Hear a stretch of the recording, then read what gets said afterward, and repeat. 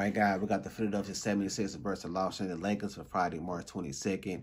I'm your boy Bo Dunn taking in for OG Cappers. Before I get to the free pick, I want to thanks to everybody that's been liking and subscribing. We really appreciate that. And if you're not done so, make sure to sub to the channel, and turn notification bell on. You don't want to miss these free picks. They've been red hot. Also, guys, get our best bets for Friday, go to ogcapper.com and save 20% on any one of my packages by using code OG20. You can get that daily best bet for 15 bucks.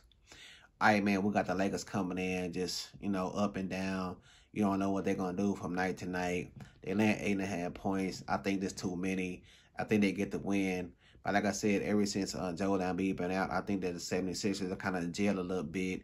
They do have some scores with Maxey and Tobias Harris. I think they'll do just enough, man, to keep this uh, game close.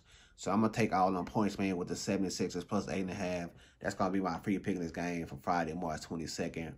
I ain't got we got multiple sports going on right now. I recommend you get some long term. Get that three day, seven day, 30 day all access pass and say that 20% but use the code OG20.